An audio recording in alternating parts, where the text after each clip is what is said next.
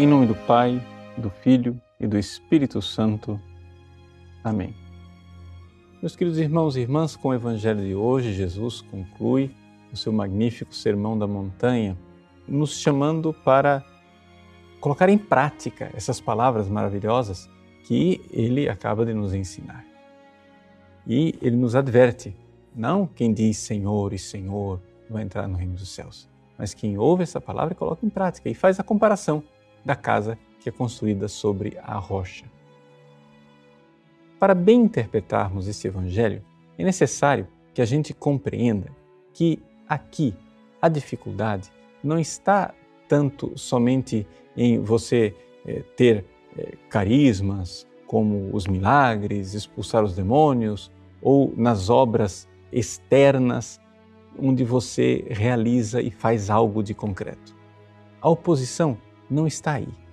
A realidade está na caridade que está no coração. E esta é a chave de leitura com a qual a gente realmente vai compreender em profundidade o que Jesus está dizendo. Para conseguir ler esse evangelho, eu gostaria de chamar a atenção para uma coisa que nos diz São Paulo na primeira carta aos Coríntios, no capítulo 13. São Paulo diz assim: Ainda que eu fale a língua dos anjos, se não tiver caridade, nada adianta.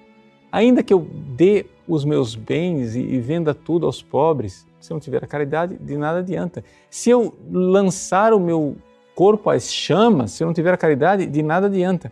Então, veja só, São Paulo está dizendo, é o núcleo, é o amor da caridade ardente por Deus, é a razão de ser de tudo.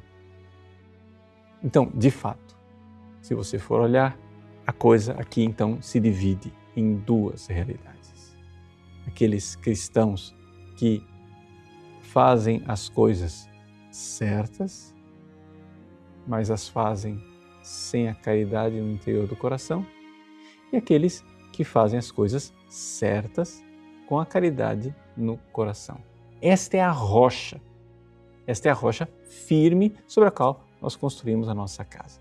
Eu digo isso porque, senão, a gente vai aqui terminar numa discussão estéreo entre aquelas pessoas que enfatizam os carismas, milagres, expulsão do demônio, etc, etc, e aquelas pessoas que enfatizam práticas sociais, não, porque o importante é colocar em prática.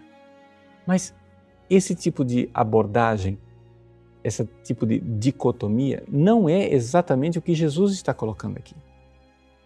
Jesus está advertindo exatamente colocar em prática as suas palavras e que as suas palavras infundem no nosso coração a caridade. Não adianta fazer a coisa certa pela intenção errada. Jesus advertiu durante todo o Sermão da Montanha com relação à hipocrisia. Ou seja, os hipócritas que fazem as coisas, fazem, fazem, fazem, fazem tantas coisas certas, mas fazem simplesmente porque é um personagem, um teatro. É o amor que faz verdadeiramente a conversão. Então aqui nós nos encontramos diante de um grande desafio. E o grande desafio da nossa vida espiritual é exatamente esse. Nós já deixamos de fazer as coisas erradas? Ótimo, você já está fazendo as coisas certas. Mas não para por aí a conversão. Agora é necessário começar a fazer as coisas certas pelas razões certas. Você antes não ia à igreja, começou a ir à igreja. Ótimo. Mas por que você vai à igreja? É por amor a Deus verdadeiramente? Ou é por um moralismo? Ou é por vaidade, exibicionismo, interesses? Você quer comprar Deus? Tudo isso é possível. É sempre possível viciar uma obra boa com a intenção má. Aquele que ouve a minha palavra e a coloca em prática esta frase se refere a todo o Sermão da Montanha e precisa ser interpretada nesse contexto amplo.